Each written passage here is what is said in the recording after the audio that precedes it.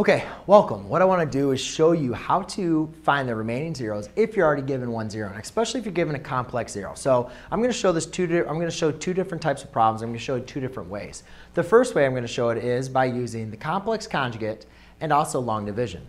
So remember, ladies and gentlemen, when I'm solving, right, we talked about complex numbers, x uh, plus 1 equals 0, right? You have something like that. So when I want to solve for x, I subtract 1, I get x squared equals negative 1, square root, square root, x equals plus or minus the square root of negative 1. Remember, when we're introducing the square root, we have to, we have to bring in the plus option of a plus or a minus. So therefore, that means your i is always going to be plus or minus. So if I'm talking about zeros, I have to make sure I include the positive and the negative. So therefore, if 3i is a 0, then I can say I have two factors in x plus 3i and x minus 3i.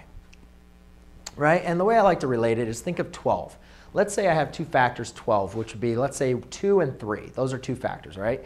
If I multiply those two factors, I'm going to get 6, which again is another factor of my polynomial. So right now I'm only dealing with a polynomial to the third degree. I can multiply these and see what I get. Now I do have a difference of two squares. So I'm going to have x squared minus 9 to i squared is going to be x squared plus 9. So therefore now what I want to do is I'm going to take those two factors and I'm going to divide this factor, x squared plus 9, into my polynomial. So I'm going to do that by long division. And you might say, why can't you use synthetic division? Well, the reason why you can't use synthetic division is because remember, when using synthetic division, you have to have a binomial, and it also has to be to the first power. You can't use a quadratic, uh, quadratic type binomial. So you have to make sure it's x to the first power.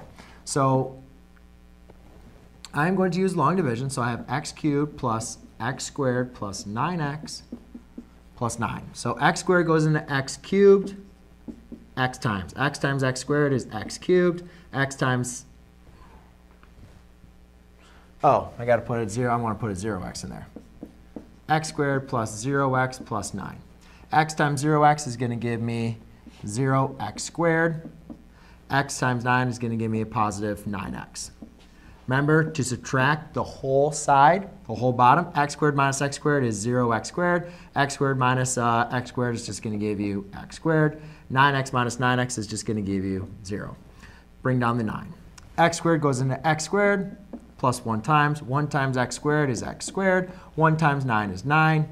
Subtract 0, 0. So therefore, my other 0 is going to be x plus 9. So therefore, my zeros is pretty easy. If I know my 0, 1 is 3i, I know that x1 is 3i, and then x plus 1 equals 0, solve for 1 equals negative 1.